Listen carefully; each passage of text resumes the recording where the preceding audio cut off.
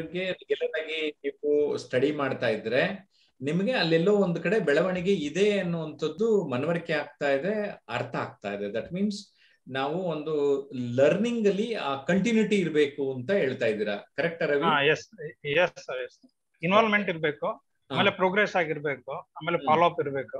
Okay so progress ಆಗ್ಬೇಕಂದ್ರೆ regular follow up ಇರಬೇಕು sessions ಬರಬೇಕು ವಿಡಿಯೋ ನೋಡಬೇಕು ಕಾಮೆಂಟ್ ಮಾಡಬೇಕು. ಇನ್ನೇನಾದ್ರೂ ಹೇಳಕ್ ಇಷ್ಟಪಡ್ತೀರಾ?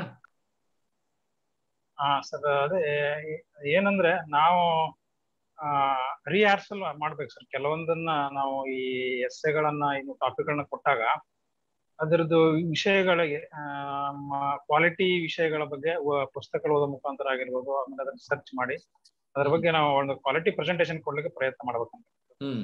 ಅಂತ ಹೇಳಿ. Okay fine so quality presentation ಮಾಡೋ ಕಡೆಗೆ ಗಮನ ಕೊಡಬೇಕು. ಯಾಕೆ? ಒಂದು ವಿಷಯವನ್ನ ಕೊಡ್ತೇವೆ ಆ ವಿಷಯದ ಸುತ್ತಮುತ್ತ ಮಾತನಾಡೋದನ್ನ ನಾವು ಅಭ್ಯಾಸ ಮಾಡ್ಕೋಬೇಕು ಅಂತ ಹೇಳ್ತಾ ಇದ್ದೀರಾ? Okay very good thank you ಅಂದ್ರೆ ನಾವು ಕಲಿತಾ ಇರ್ತೀವಲ್ವಾ? ಆ ಕಲಿಯೋದು ಸ್ವಲ್ಪ ಸ್ಪೀಡ್ ಅಪ್ ಆಗ್ಬೇಕಂದ್ರೆ ನಾವು ಯಾವ ತರ ಸ್ಟೂಡೆಂಟ್ ಆಗಿರ್ಬೇಕು? ಸರ್ ಕಲಿಕೆ ಅಂದ್ರೆ ನಿರಂತರ ಇರ್ಬೇಕಂತ ನನ್ನ ಅನ್ಸಿಕೆ. ನಿರಂತರವಾಗಿ ಕಲ್ತ್ರೆ ಏನ್ ಬೇಕಾದ್ರೂ ಸಾಧಿಸ್ಬೋದು. ಈಗ ಏನೋ ಕಲಿಬೇಕಂತ ಹೊರಡ್ತೀವಿ ನಾವು. ಏನು ಮಾಡ್ಲಿಲ್ಲ ಅಂದ್ರೆ ಅದ್ ಹೆಂಗ್ ಬರುತ್ತೆ? ಸಾಧ್ಯ ಇಲ್ಲ. ಅದಕ್ಕೆ ಯಾವ ನಾವು ನಾವೀಗ ವ್ಯಕ್ತಿ ವ್ಯಕ್ತಿತ್ವ ವಿಕಾಸನ ಮತ್ತು ಇದು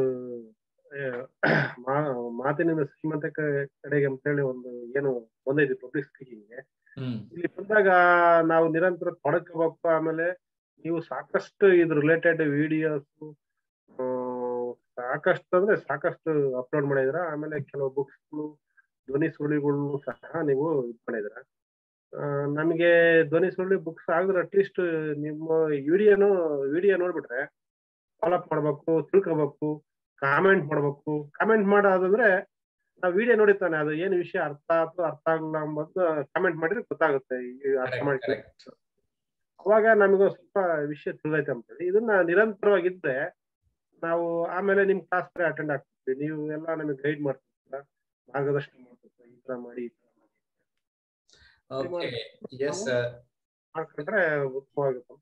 ಎಸ್ ಥ್ಯಾಂಕ್ ಯು ನಿರಂಜನ್ ಗೌಡ್ರೆ. ಈಗ ನಮ್ಮ ವಿರೂಪಾಕ್ಷ ಹಿರೇಮಠ್ ಅವ್ರು ಏನ್ ಹೇಳ್ತಾರೆ ಕೇಳೋಣ? S Virupaksha Hiremath learning especially online ಕೋರ್ಸ್ನಲ್ಲಿ ನಿಮ್ಮ ಲರ್ನಿಂಗ್ಸ್ ಏನು? ಹೇಗಿರ್ಬೇಕು ಒಬ್ಬ ಸ್ಟೂಡೆಂಟ್ ಸರ್ ಆಕ್ಚುಲಿ ನಾವು ಇಲ್ಲಿ ಒಂದು ಸಂವಹನ ಕಲೆಯನ್ನ ಕಲಿಬೇಕು ಅಂತ ಬಂದಾಗ ನಮಗೆ ಈ ಒಂದು ಸಂವಹನ ಕಲೆಗೆ ಪ್ರಮುಖವಾಗಿ ಬೇಕಾದಂತದ್ದೇ ಶಬ್ದಗಳು. ಹ್ಮ್. ನಾವು ಇವತ್ತಿನ ಸೋಷಿಯಲ್ ಮೀಡಿಯಾನೊಂದಿಗಿನ ಒಡನಾಟದಲ್ಲಿ ಏನಾಗ್ಬಿಟ್ಟಿದೀವಿ ಅಂತಂದ್ರೆ ಎಸ್ ಅಂತ ಟೈಪ್ ಮಾಡೋದಕ್ಕೂ ಬರೀ ಎಸ್ ಅನ್ನು ಅಕ್ಷರ ಟೈಪ್ ಮಾಡೋಕ್ ಮಟ್ ನಾವು ಮಟ್ಟಕ್ಕೆ ನಾವು ಬಂದ್ಬಿಟ್ಟಿದೀವಿ ಸರ್ ಈಗ. ಅದಕ್ಕೋಸ್ಕರ ಏನಾಗ್ಬೇಕು ಅಂತಂದ್ರೆ ನಾವು ಪ್ರತಿಯೊಂದಕ್ಕೂ ವೈ ಎಸ್ ಅಂತ ಟೈಪ್ ಮಾಡೋ ಮಟ್ಟಕ್ಕೆ ನಾವು ಹೋದ್ರೆ ಶಬ್ದಗಳು ಬೆಳೀತಾ ಹೋಗುತ್ತೆ ಸರ್. ನಾನು ಅದನ್ನ ರೂಢಿ ಮಾಡ್ಕೊಳ್ತಾ ಇದ್ದೀನಿ ಸರ್. ಯಾಕಂದ್ರೆ ನಾನು ಸೋಷಿಯಲ್ ಮೀಡಿಯಾದಲ್ಲಿ ಅದನ್ನ ಮಾಡ್ತಾ ಇದ್ದೆ. ಅದು ತಪ್ಪು ಅಂತ ನನಗೆ ಗೊತ್ತಾಗಿದೆ ಸರ್ ಈಗ. ಅದು ಇಂಗ್ಲಿಷ್ ನಾವ್ ಎಲ್ಲೋ ಬರ್ತಾ ಬರ್ತಾ ಆ ಒಂದು ಕನ್ಸೈಸ್ ಫಾರ್ಮ್ಯಾಟ್ ಹೋಗ್ಬಿಟ್ಟು ಆಕ್ಚುಲಿ ಏನು ಅಂತಾನೆ ಗೊತ್ತಿಲ್ಲ ಅಂತ. ಗೊತ್ತಿಲ್ಲ ಸರ್. ಎಂ ಜಿ ರೋಡ್ ಅಂತ ಗೊತ್ತು. ಎಂ ಜಿ ಅಂದ್ರೆ ಏನು ಅಂತಾನೆ ಗೊತ್ತಿಲ್ಲ ಎಷ್ಟೋ ಜನಕ್ಕೆ. ಮಹಾತ್ಮ ಗಾಂಧಿ ಅನ್ನೋರ್ದು ಶಾರ್ಟ್ ಫಾರಮ್ ಅಂತ ಹೇಳಬೇಕಾಗುತ್ತೆ. ಕರೆಕ್ಟಾ? ಹೌದು ಸರ್ ಹೌದು ಸರ್.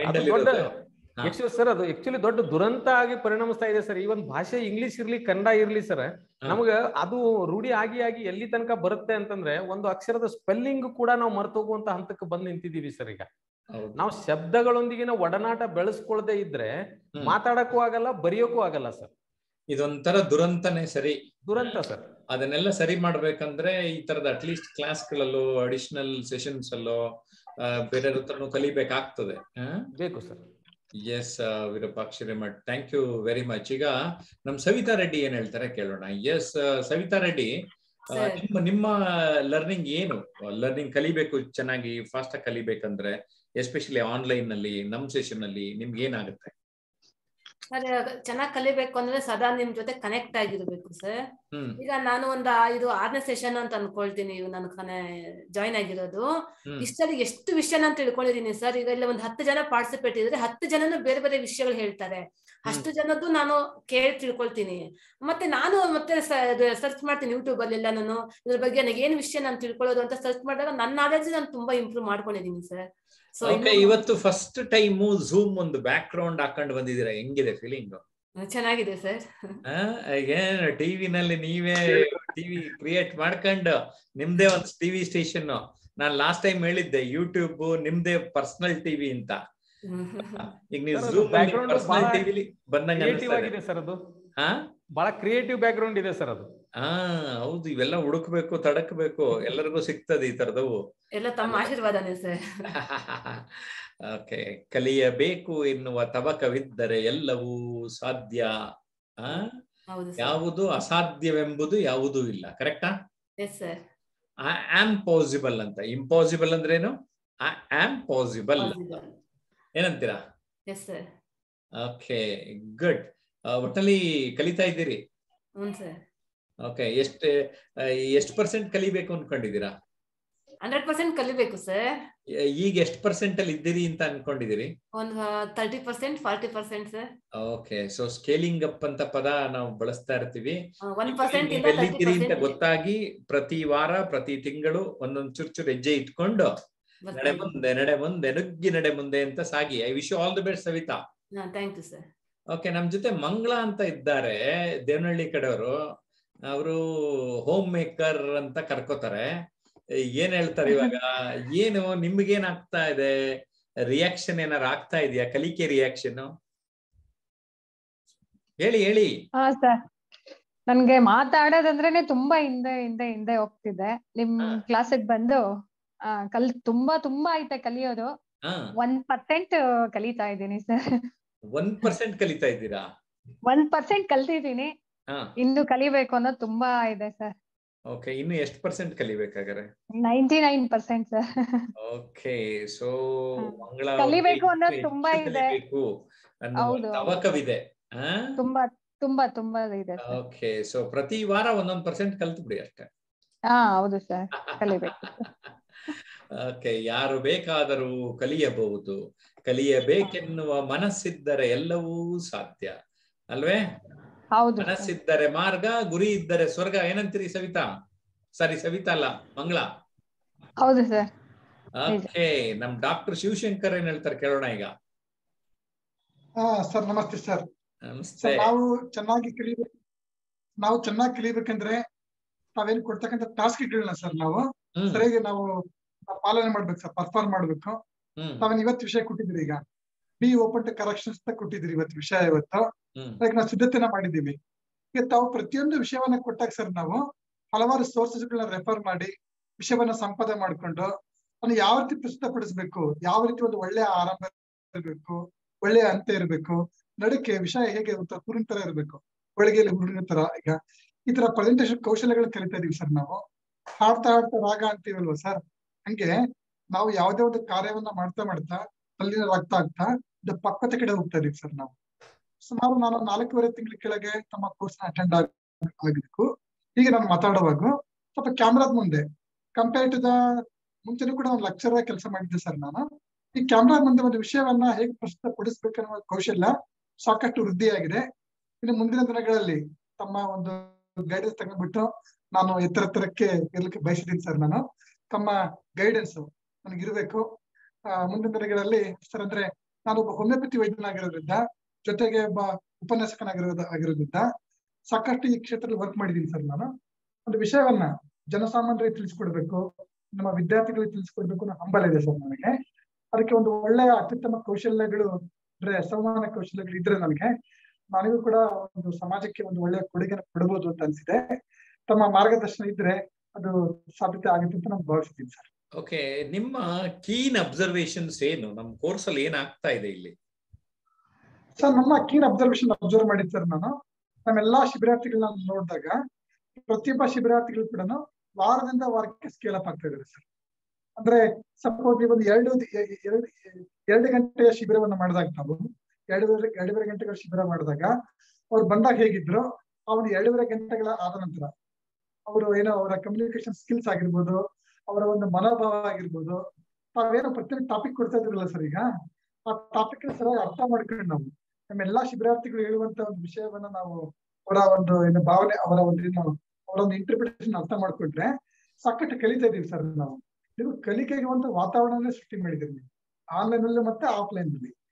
ಸೊ ಹೀಗಾಗಿ ಸೊ ಪ್ರತಿಯೊಬ್ಬ ಶಿಬಿರಾರ್ಥಿಗಳು ಅವರ ಸಂವಹನ ಕೌಶಲ್ಯ ವೃದ್ಧಿ ಆಗ್ತಿದೆ, ಅವರ ಕಾನ್ಫಿಡೆನ್ಸ್ ವೃದ್ಧಿ ಆಗ್ತಾ ಇದೆ. ಆಮೇಲೆ ಒಂದು ಸಾರ್ಥಕ ಬದುಕು ಅಂತೀವಿ ಸರ್ ನಾವು. ಅಂದ್ರೆ ನಾವು ಇವತ್ತು ಕನ್ನಡ ಭಾಷೆ ಬಹಳ ಸುಂದರ ಭಾಷೆ. ನಾನು ನಿಮ್ಮಿಂದ ಕಲ್ತಿದ್ದೇನಂದ್ರೆ ನಮ್ಮೆಲ್ಲ ಶಿಬಿರ ಕಲ್ತಿದ್ದೇನಂದ್ರೆ ಈ ಕನ್ನಡ ಭಾಷೆಯನ್ನ ಸುಮಧುರವಾಗಿ ಸುಲಲಿತವಾಗಿ ಮಾತನಾಡುವ ಕಲೆ. ಸೊ ಇದು ನನಗೆ ಎಷ್ಟು ಖುಷಿ ಕೊಟ್ಟಿದೆ ಅಂದ್ರೆ sir I cannot express in my words okay camp ಅಲ್ಲಿ ಮೂರು ದಿನ ಇದ್ದಿದ್ದು ಹೇಗೆ ಅನ್ಸುತ್ತೆ ನಿಮ್ಗೆ? ಎಸ್ ಸರ್ ಈ ಮೂರು ದಿನಗಳ ವಸತಿ ವಸತಿ ಶಿಬಿರ ಬಹಳ ಚೆನ್ನಾಗಿದೆ ಸರ್ ಒಂದು ಇಪ್ಪತ್ತೈದು ಜನ ಶಿಬಿರಾರ್ಥಿಗಳಿದ್ವಿ ನಾವು ಹನ್ನೆರಡು ಜನ ಆನ್ಲೈನ್ ಶಿಬಿರಾರ್ಥಿಗಳೇ ಇದ್ವಿ. ಒಂದು ಹದಿಮೂರು ಜನ ಅಂದ್ರೆ ಹೊರಗಿನವ್ರು ಇದ್ವಿ. ಅದರಲ್ಲಿ ಒಂದು ಆರು ಜನ ಒಂದು ಕಂಪ್ನಿಯಿಂದ ಬಂದಿದ್ರು. ಒಂದು ಎಂ ಎನ್ ಸಿ ಕಂಪ್ನಿಯಿಂದ ಬಂದಿದ್ರು. ಸಾಕಷ್ಟು ಎಲ್ಲಾ ಕ್ಷೇತ್ರದಿಂದ ಅಲೋಪತಿ ವೈದ್ಯರು ನಾನು ಹೋಮಿಯೋಪತಿ ವೈದ್ಯ.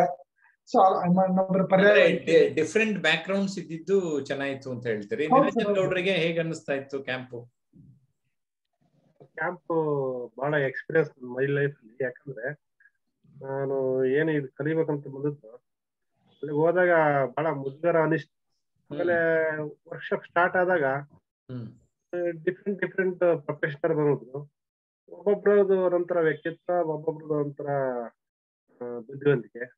ಆಮೇಲೆ ಅದ್ರ ಮಧ್ಯೆ ನಿಮ್ ಮಾರ್ಗದರ್ಶನ. ನಮಗೆ ಬಹಳ ಕಷ್ಟ ಆಗ್ತಿತ್ತು. ಅಲ್ಲಿ ಮೂರು ದಿವಸ ನೋಡಾಗ ನಾವು ಏನು ನಾವು ಒಂದ್ ಇನ್ನ ಹೆಚ್ಚಾಗಿ ಹೆಚ್ಚಾಗಿ ಕಲ್ತ್ಕೊಬಿಟ್ವಿ ಯಾಕಂದ್ರೆ ಇನ್ವಾಲ್ವ್ಮೆಂಟ್ ಇರ್ಬೋದು ಅಲ್ಲಿ ನಮ್ ಬಹಳ ಸ್ಟೇಜ್ ಫಿಯರ್ ಎಲ್ಲರಿಗೂ ಮುಖ್ಯ ಬರೋದು. ಆ ಸ್ಟೇಜ್ ಫಿಯರ್ ಎಲ್ಲರೂ ಈ ಮೈಕ್ ಇಟ್ಕೊಂಡ್ರೆ ಹತ್ಲತ್ ತಿಳ್ಕೊಳ್ಳೋರು ಇಪ್ಪತ್ತು ತಿಳ್ಕೊಳ್ಳೋರು ಸ್ಟಾರ್ಟಿಂಗ್ ಡೇ ಫೈನಲ್ ಡೇ ಬಂದಾಗ ಆಲೆ ಓಪನ್ ಅಪ್ ಆಗಿ ಅವರೆಲ್ಲ ನಿರಂತರ ನಿರಂತರವಾಗಿ ಮಾತಾಡ್ಕೊಂಡ್ರು. ನಾನು ಸಹ ಈ ಈ ರೀತಿ ಮಾತಾಡ್ತಿರಲ್ಲ ಎಲ್ಲಾಗ್ಲೂ ನಾನು ಬಹಳ ನಾಚಿಕೊಳ್ತಿದ್ದೆ ಯಾವ್ದೇ ವಿಷಯ ಕೊಟ್ಟರು ಈಗ ನಾನೊಂದು ತರ್ಟಿ ಟು ಫಾರ್ಟಿ ಪರ್ಸೆಂಟ್ ಕಲ್ತಿರ್ಬೋದು. ಒಂದು ಸಿಕ್ಸ್ಟಿ ಪರ್ಸೆಂಟ್ ಕಲಿಯೋದಿದೆ. ಇಷ್ಟು ಕಲ್ತಾ ಇದ್ದಲ್ಲ ನನಗೆ ಹ್ಯಾಪಿ ಅನ್ಸುತ್ತೆ.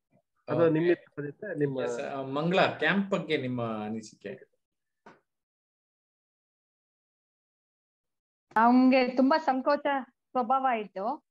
ನೀವ್ ಅಲ್ಲಿ ಕ್ಯಾಂಪ್ ಅಲ್ಲಿ ಕರೆದು ಹಾಡ್ ಹೇಳ್ಸಿ ಡ್ಯಾನ್ಸ್ ಎಲ್ಲ ಮಾಡಿಸಿ ಎಲ್ಲ ಮಾಡಿದ್ಮೇಲೆ ಸಂಕೋಚ ಅನ್ನೋದು ಫುಲ್ ಕಡಿಮೆ ಆಗೋಯ್ತು. ಭಯ ಅನ್ನೋದಿತ್ತು. ಧೈರ್ಯ ಬಂತು.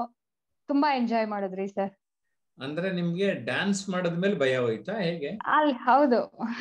ಅಲ್ಲೆಲ್ಲ ಹಾಡೆಲ್ಲ ಹೇಳ್ತಿದ್ರಿ ಎಲ್ಲ ಮಾಡಿದ್ರಲ್ವಾ ಸರ್ ಸಂಕೋಚ ತುಂಬಾ ಇತ್ತು ಆ ಸಂಕೋಚ ಅನ್ನೋದು ಹೋಯ್ತು ಸರ್ ಓಕೆ ನಿರಂಜನ್ಗೆ ಈ ಸಾರಿ ನಮ್ಮ ವಿರೂಪಾಕ್ಷ ಹಿರೇಮಠಕ್ಕೆ ಏನ್ ಅನ್ನಿಸ್ತು ಕ್ಯಾಂಪು ಸರ್ ಕ್ಯಾಂಪ್ ಅಲ್ಲಿ ಆಕ್ಚುಲಿ ನಾವು ಒಬ್ಬರೊಂದಿಗೆ ಬೆರೆತು ಅಲ್ಲಿ ಏನು ಭಾಷೆಯನ್ನು ಬಳಸ್ತಾ ಇರ್ತೀವಿ ಸರ್ ಈಗ ನಾನು ಉತ್ತರ ಕರ್ನಾಟಕದಿಂದ ಬಂದಿರೋದ್ರಿಂದ ಇಲ್ಲಿ ನಾವು ಜನ ದಿನಂಪ್ರತಿ ನಮ್ಮ ಜನರೊಂದಿಗೆ ಬೆರೆತು ಮಾತಾಡುವಾಗ ನಮ್ಮ ಭಾಷೆ ಒಂಥರ ನಾನು ಆಗ್ಲೇ ಹೇಳ್ದಂಗೆ ಆ ಶಬ್ದಗಳು ಒಂಥರ ಮೊಟಕುಗೊಳ್ಳುವಂತ ಶಬ್ದಗಳು ಜಾಸ್ತಿ ಇರುತ್ತೆ ಸರ್. ಮತ್ತೆ ಇನ್ನೊಂದೇನಂದ್ರೆ ಮಿಕ್ಸ್ ಮಾಡಿ ಮಾತಾಡುವಂತದ್ದು ಆಮೇಲೆ ಶಾರ್ಟ್ ಆಗಿ ಮಾತಾಡುವಂತದ್ದು ಆಮೇಲೆ ಸೌಜನ್ಯತೆ ಒಂದ್ ಸ್ವಲ್ಪ ಅಲ್ಲಿ ಕೊರತೆ ಆಗ್ಬೋದು ಅಂತ ಅನಿಸ್ತು ಸರ್. ಅಲ್ಲಿ ಡಿಫ್ರೆಂಟ್ ಮೆಂಟಾಲಿಟಿ ಡಿಫ್ರೆಂಟ್ ಲೊಕೇಶನ್ ಇಂದ ಬಂದಿರೋರು ಭಾಷೆ ಬೇರೆ ಆದಾಗ ನಾವು ಬಹಳ ಹುಷಾರಾಗಿ ಮಾತಾಡಬೇಕು ಮತ್ತೆ ಅದನ್ನ ಅರ್ಥೈಸಿಕೊಂಡು ಅವರು ನಾವು ಮಾತಾಡುವಾಗ ಅವರಿಗೂ ತೊಂದರೆ ಆಗ್ದಂಗೆ ನಮಗೂ ಅದು ಮುಜುಗರ ಉಂಟಾಗದಂಗೆ ಮಾತಾಡುವಂತದ್ದು ಒಂಥರ ಬೆರೆತು ಸಾಗುವಂತ ಒಂದು ಪದ್ಧತಿ ನನಗೆ ಬಹಳ ಇಷ್ಟ ಆಯ್ತು ಸರ್. ಗುಡ್. ನೀವೆಲ್ಲರೂ ನಿಮ್ ನಿಮ್ ಅನಿಸಿಕೆಗಳನ್ನ ತುಂಬಾ ಚೆನ್ನಾಗಿ ಹೇಳಿದ್ರಿ. ಹಾಗೆ ನಿಮ್ಗಳಿಗೂ ಏನಾದ್ರೂ ಆನ್ಲೈನೋ, ಆಫ್ಲೈನ್ ಕ್ಲಾಸ್ ಬೇಕು ಅಂತ ಅಂದ್ರೆ ಒಂದು ಮಾಸ್ಟರ್ ಕ್ಲಾಸ್ಗೆ ಅಟೆಂಡ್ ಮಾಡೋದಕ್ಕೆ ಒಂದು ನಂಬರ್ ಕೊಡ್ತೇನೆ. ಅಲ್ಲಿ ಕರೆ ಮಾಡಿ ಝೂಮ್ ಮೀಟಿಂಗ್ ಐಡಿ ಪಾಸ್ವರ್ಡ್ ಕೊಡ್ತಾರೆ. ಎರಡು ತಾಸು ನಾನು ಉಚಿತವಾದ ಮಾಸ್ಟರ್ ಕ್ಲಾಸ್ ಮಾಡ್ತೇನೆ. ಅಲ್ಲಿ ಆನ್ಲೈನ್ ಮತ್ತು ಆಫ್ಲೈನ್ ಕ್ಲಾಸ್ ಬಗ್ಗೆ ಮಾಹಿತಿ ಕೊಡ್ತಾನೆ. ನೀವು ಆ ಮಾಹಿತಿಯನ್ನ ಪಡೆಯಿರಿ. Nine three four one two five nine two six seven ಆ ಒಂದು ದೂರವಾಣಿ ಸಂಖ್ಯೆಗೆ ಕರೆ ಮಾಡಿ. I wish all the best thank you very much bye bye